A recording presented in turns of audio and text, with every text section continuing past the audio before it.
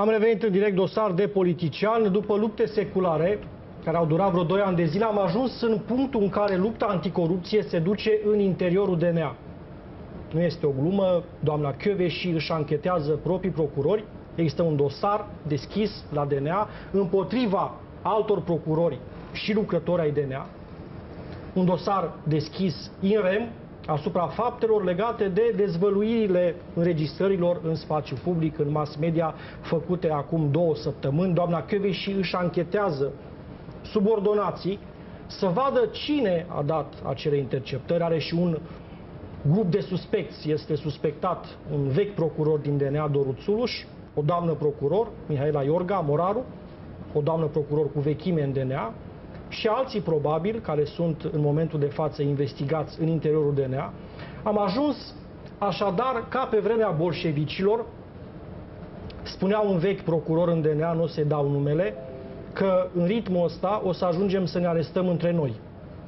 Și s-ar putea să nu fie departe clipa când procurori anticorupție, procurori din DNA, vor aresta oameni din DNA, colegi procurori din DNA, îi salut pentru a doua parte pe invitații mei, doamna Ingrid Mocanu, fost director în Ministerul Justiției. Bună seara.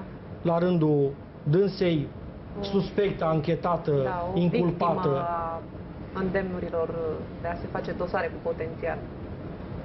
Așa un subiect uh, al dosarelor DNA, doamna Mocanu și Gelu Vișan, Partidul Mișcarea Populară. Bună seara! Bună seara. Haideți să vedem în primul rând noutatea zilei. Noutatea este următoarea. După ce au apărut în spațiu public înregistrările în care doamna și le dădea indicații prețioase subordonaților cum să facă dosare, pe cine să decapeze, pe cine să investigheze, cum să se aplece asupra muncii de investigație.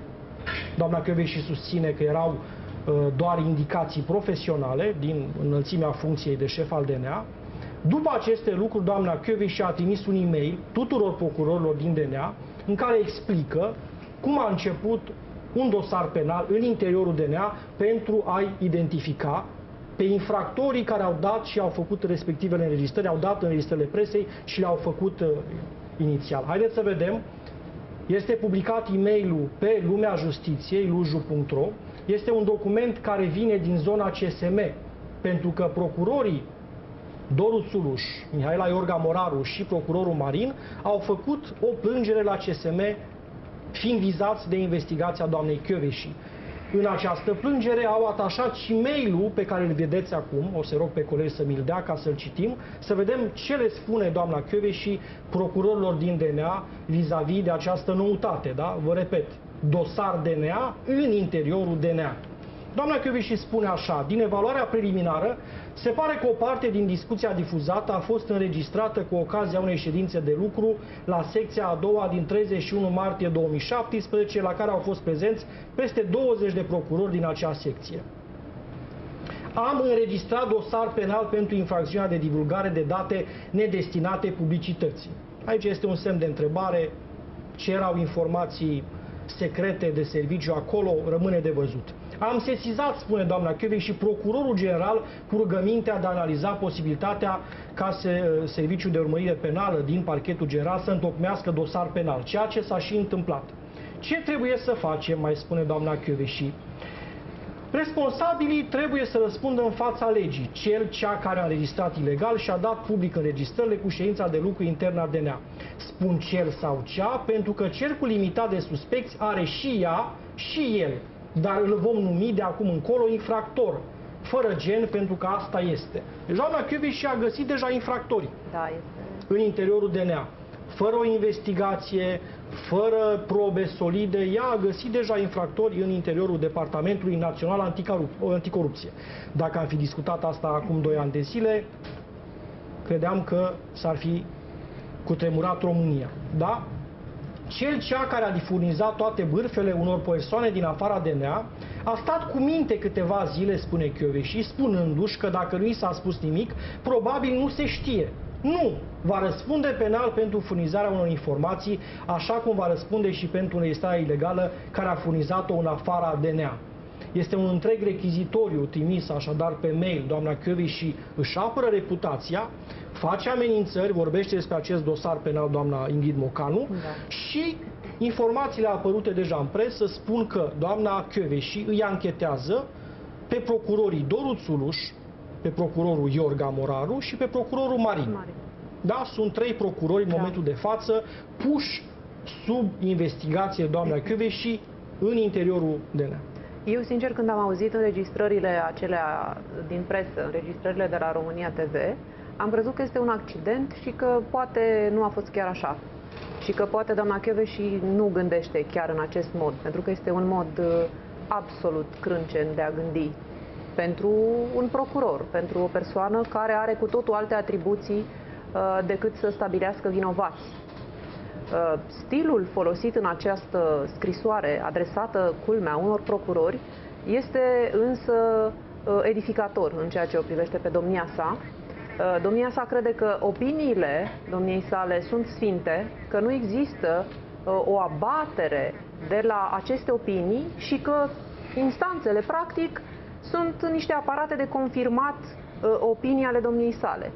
Transformă procurorii, în primul rând, nu știm dacă este o faptă, astfel cum rezultă ea și cum este uh, menționat și în denunțul, în sesizarea aceea disciplinară formulată de procurori, uh, ceea ce s-a întâmplat nu are întrunite elementele constitutive ale unei infracțiuni. Deci, în primul rând, nu are autorii cărei infracțiuni să îi caute.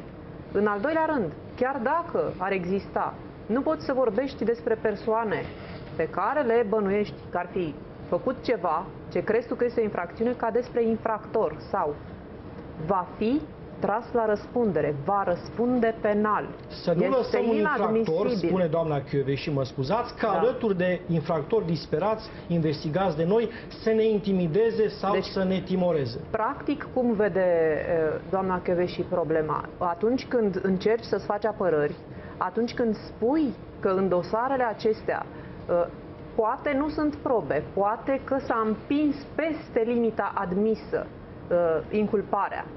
Și de ce spun eu? Eu am făcut plângere penală pentru că este foarte clar. Eu am fost reinculpată pentru același tip de faptă după ce în alta curte a trimis, a retrimis la parchet un dosar spunând această faptă, așa cum este ea descrisă, tot de un procuror DNA și reconfirmată prin semnătura domniei sale, adică a doamnei Chioveși, în alta curte a, tri- a retrimis dosarul la DNA și a spus nu, aceasta nu este descrierea unei fapte penale.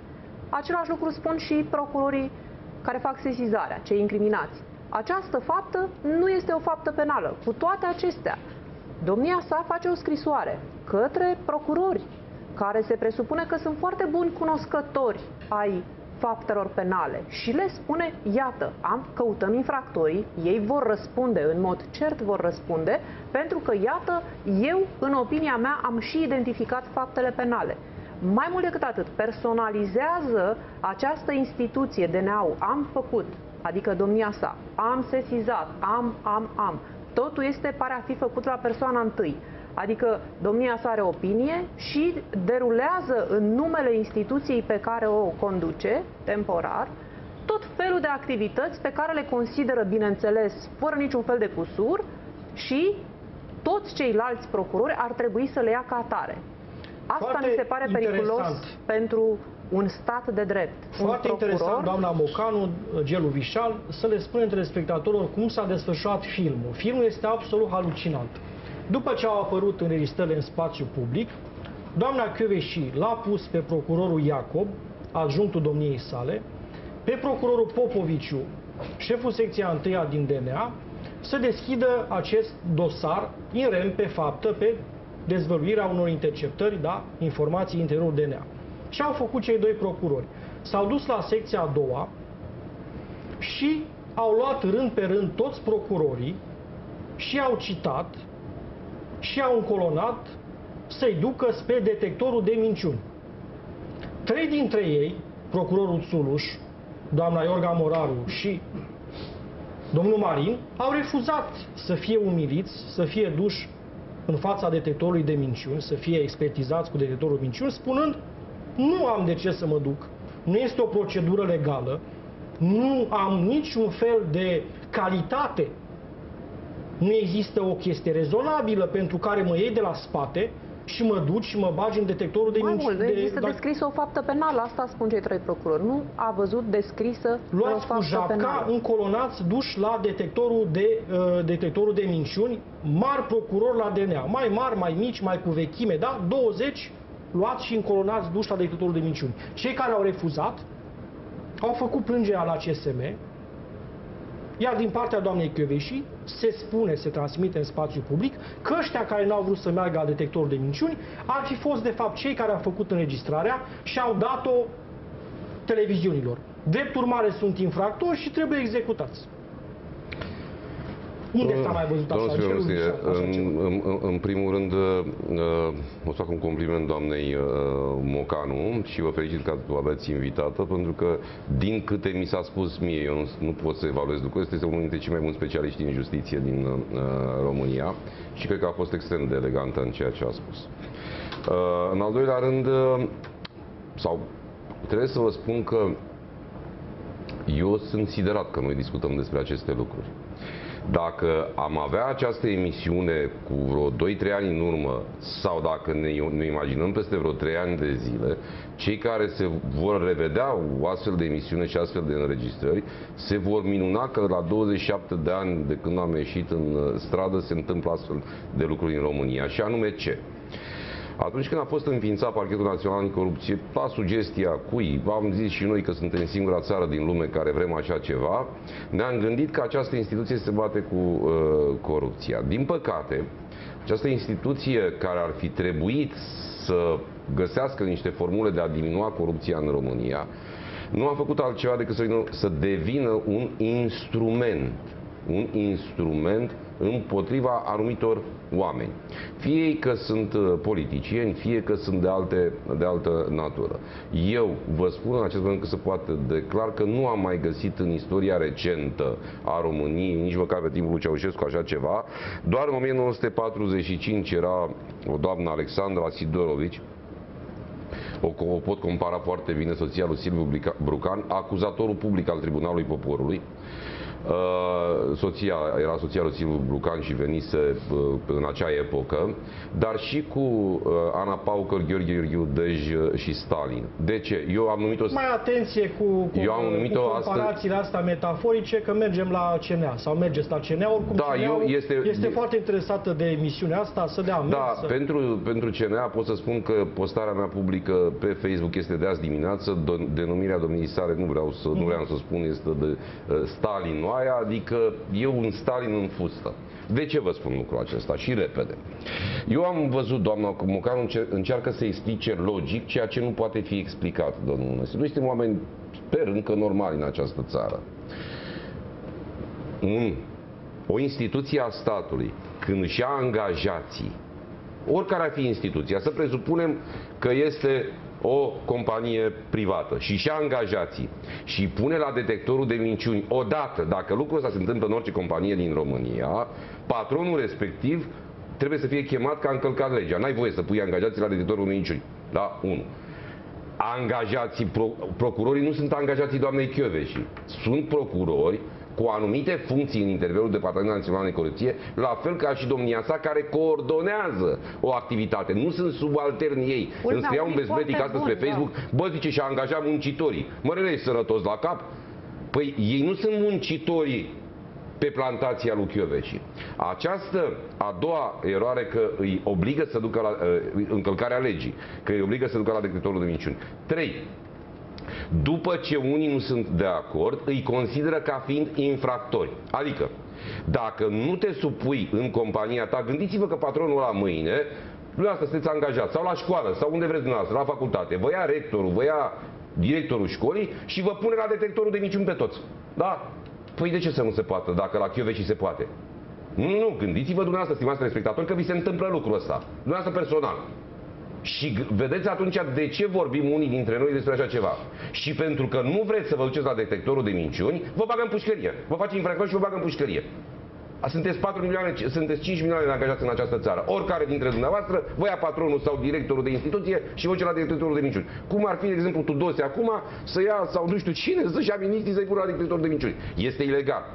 Este ilegal. Ori această abordare ilegală în interiorul unei instituții care ar trebui să fie elita, mândria unei, uh, uh, unei abordări în, în uh, justiție, ne arată un lucru simplu. Această instituție a devenit instrumentul Laurei Codruța Chioveși și probabil a unui, unei mâini de apropiați, că n-a făcut singură lucrul ăsta, mai spuneți că i-a mai există Iacob și așa mai departe. instituții de cenzură, nu mai există CSM, nu, nu mai există nu. Ministrul Justiției, nu mai există președintele României.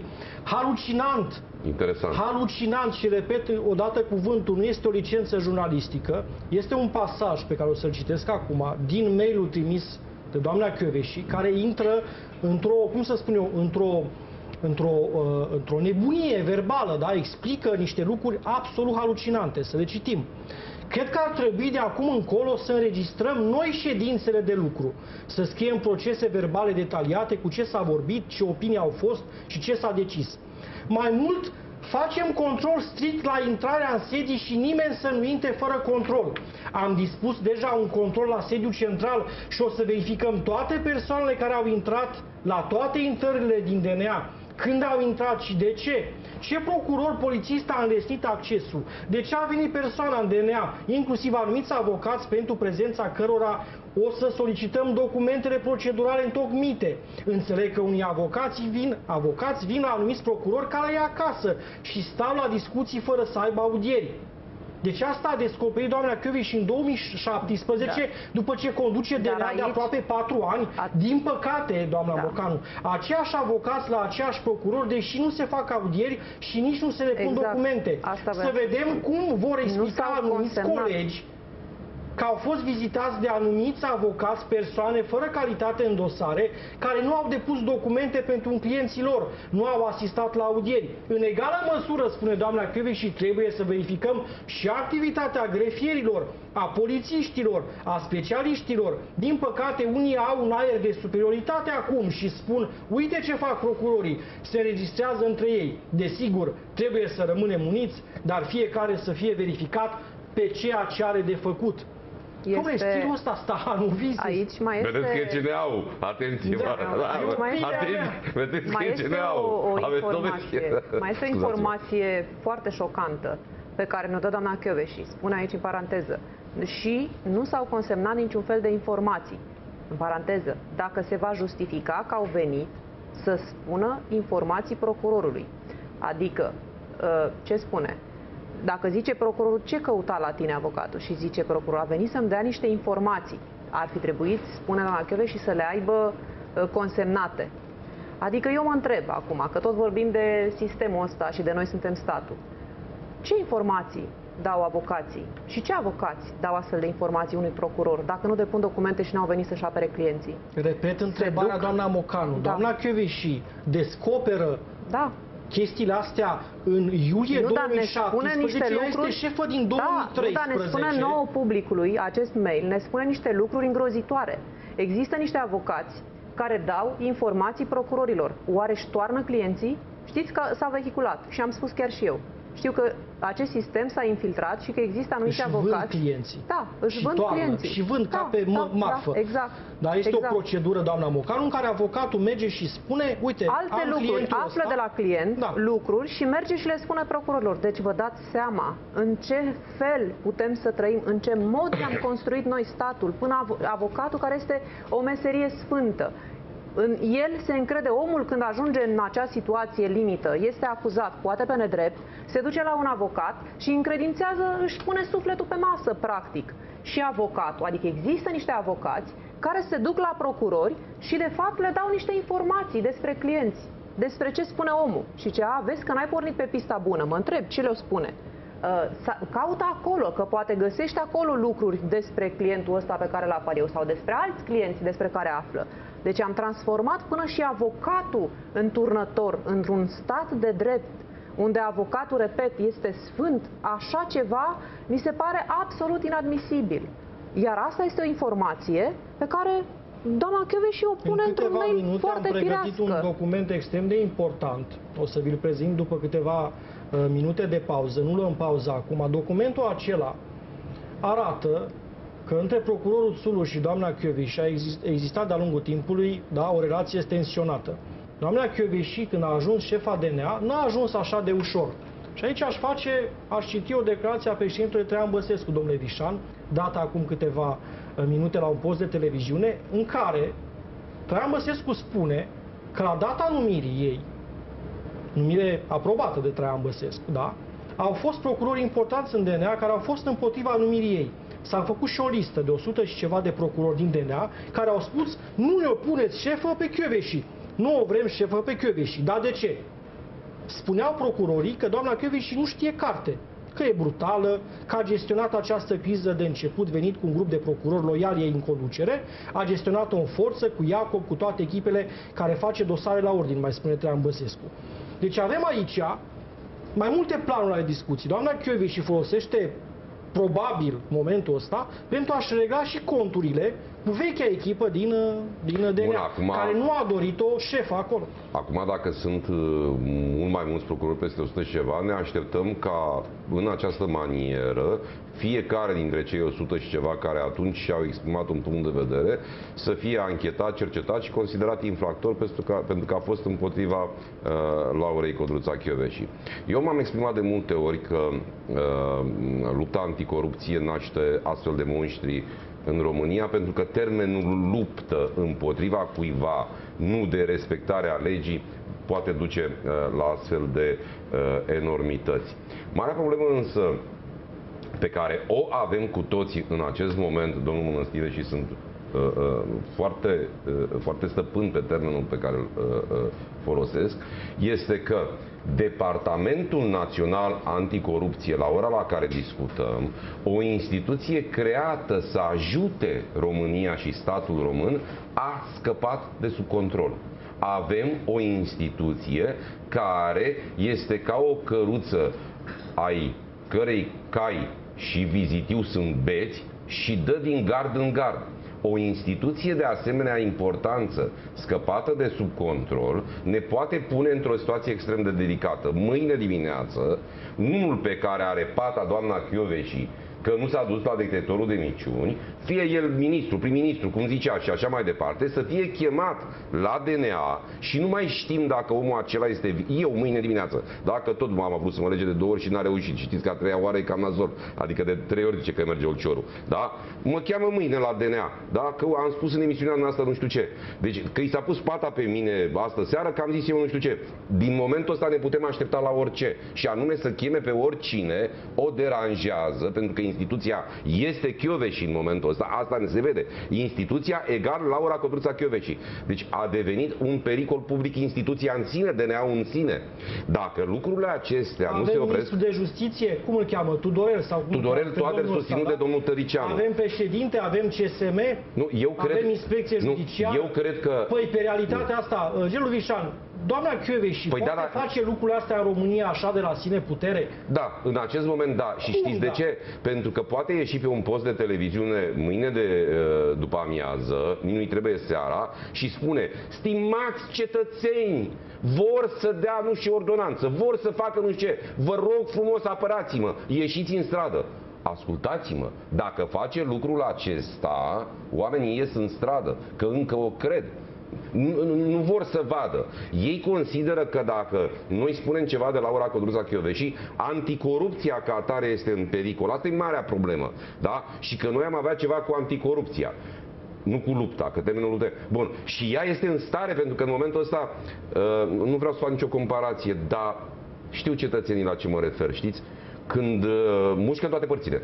Da? Și atunci este în stare să arunce România în aer, cum a fost gata să o, o mai arunce odată, și să facă apel la populație să o apere. Atenție! Și atunci Tudorel Toader și așa mai departe, și alții poate, se- din punctul ăsta de vedere, rolul președintelui României este extrem de important. El ar trebui să cheme ministrul justiției,